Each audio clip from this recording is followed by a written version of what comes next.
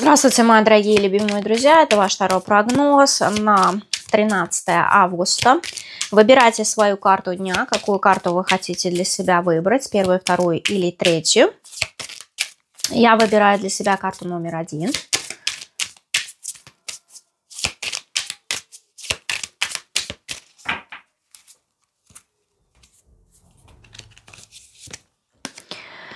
Карта правосудия здесь. Вот а, правосудие здесь вот может быть подписка документов, заключение контрактов, договоренность. Оценить нужно будет какую-то ситуацию, ознакомиться с каким-то документом здесь взять какой-то легальный совет, может быть, проконсультироваться у специалиста, у юриста, потому что вот здесь вот может быть что-то связано с юридическими какими-то вопросами, для кого-то это может быть оформление каких-то документов, для кого-то это может быть решение суда, повестка в суд, если у вас намечаются накануне какие-то судебные разбирательства, конечно. Но суд может быть касаться вас лично, либо, может быть, вы судитесь, либо, может быть, вы пойдете физически в суд в качестве, не знаю, свидетеля или поддержки, допустим, как вариант.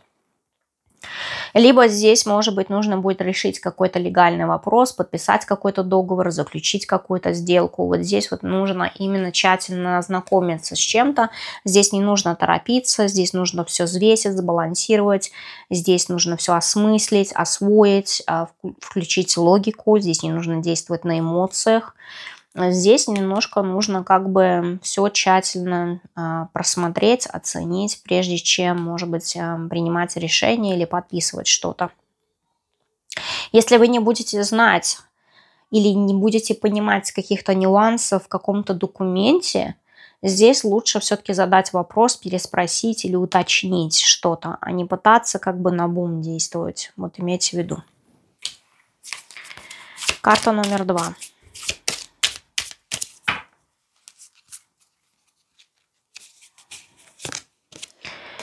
Карта дьявол. Здесь прям подаваться искушению, соблазному. Здесь может быть страсть, интим, э, вечеринки. Здесь могут быть ночные клубы, алкоголь. Вот здесь вот какая-то привязанность может быть еще.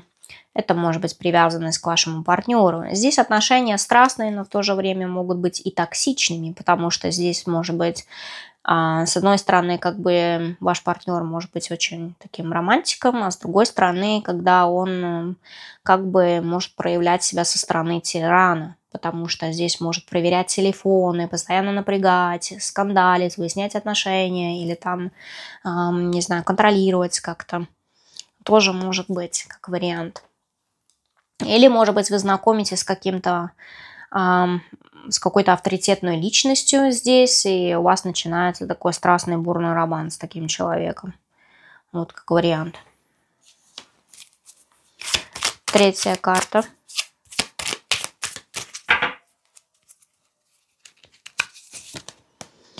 Королева, королева мечей. Здесь прям такой холодный ум, расчетливость нужна будет, потому что здесь вот нужно прям отстранить все эмоции, не быть эмоциональными.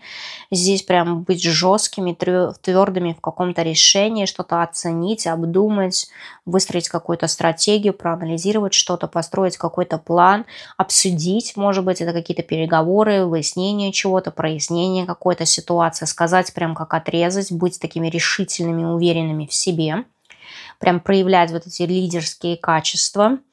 Вот здесь вот человек прям, знаете, очень мыслится тщательно, прям до мелочей вы можете все тщательно обдумать. Или, может быть, еще вариант, когда такая дамочка будет принимать участие в вашей жизни в этот день.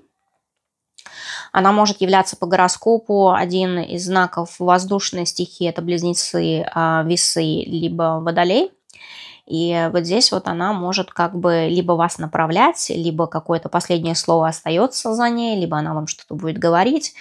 Вот здесь вот очень такая четкая дама, специалист какой-то может быть, может быть, это опять-таки юрист, это может быть и врач, это может быть и журналист, это может быть и руководитель, допустим, с кем вы общаетесь, или с кем нужно договориться, или, может быть, это вы, опять-таки, когда вы себя должны будете вести как эта королева мечей, Может быть, вы должны будете подписать какой-то документ, подписать там, не знаю, что-то, договор какой-то или там эм, ознакомиться с чем-то, как вариант тоже может быть. И вот здесь вот прям нужно будет до, до мелочей что-то оценить, обдумать, ознакомиться.